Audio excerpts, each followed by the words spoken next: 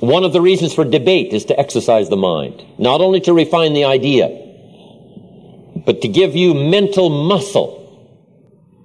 And if there was ever a time we needed mental muscle, it's going to be moving into the 21st century because ideologies are going to be coming at us from all directions. Some from the lower part of life, some from the higher inspirational part of life. But ideologies are going to be in clash. Some will be in concert to help build a good world, but some are going to be in conflict.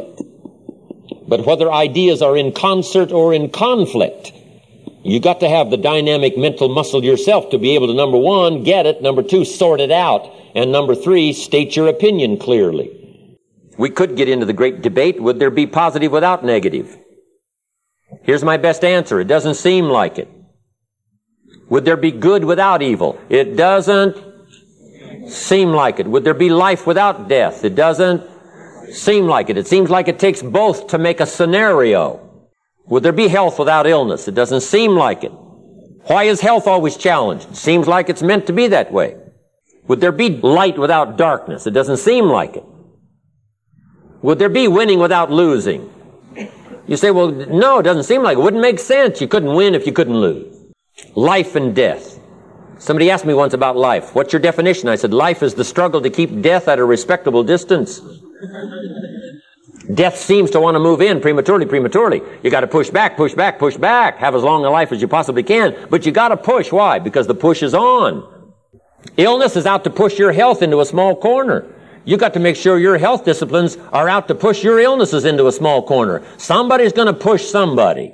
Here's the best way I can describe life in its human experience. Best as I can describe it. Opposites in conflict, and we're caught in the middle. Opposites vying for the territory. And the middle part of that experience is of opposites vying for the territory is what we call a glorious possibility for human existence and experience. It makes a scenario. Wouldn't be a scenario without it. Good without evil wouldn't make sense. So here's what we must do. Learn to embrace both. You gotta drink from both cups. The ancient prophet said there's a time to laugh. That's not the end of it. Just keep on laughing. No! Said there's a time to what? Cry.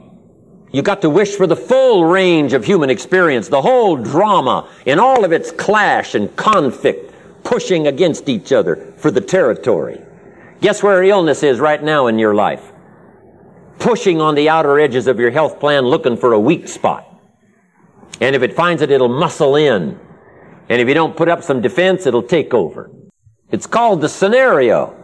But you couldn't win if you couldn't lose. You couldn't triumph if there was no risk. That's what life is all about, accepting this clash of opposites in conflict and embracing it. Once you understand it, you'll thrill to the full range of human experience. Drink from both cups. What if you went to listen to a symphony orchestra and the symphony only played little happy high notes, little happy high notes, little happy high notes all evening? How much of that could you take? No one would stay. Don't you want to hear the crash of the cymbals that scares you to death? The music that drags you down into the tragedy of life as well as the triumph? And the answer is yes. Play me the whole orchestra. Don't leave any of it out. Most of the music of the world is written in the minor key.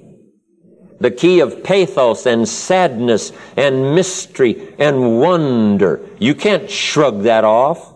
You've got to experience it. That's what makes a scenario. Otherwise, there is no scenario. There is no life. That's why we need the negative to alarm us. Somebody that's been down the road, the bridge is out.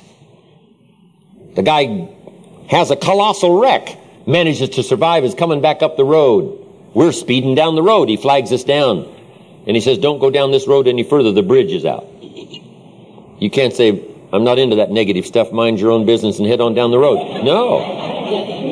No. Wouldn't you take a look at this guy that looks like he's been in a wreck and say, hey, I better take it easy. I better not go down this road. Somebody's been down this road and had a disaster. Shouldn't I say, let me take their advice? Be careful headed down this road. So that's what I'm asking you to do. Evaluate. We need the full range, the full menu of idea on the negative side as well as the positive side. We need books that give us the look at both good and evil. Key. You need a book on Gandhi and you need a book on Hitler. One to show you how high and the other one to show you how low. One to admire and the other one to despise. So that we be not tempted to follow the evil road, though it may taste good in the beginning. Power sometimes tastes good in the beginning, but the ancient prophet said sometimes what tastes good in the mouth turns bitter in the belly. Later on, a well balanced library of the negative and the positive. If your mind is searching through that kind of stuff, trying to come up with what you think is right with a little bit of refinement, now it'll benefit you. You gotta be healthy minded.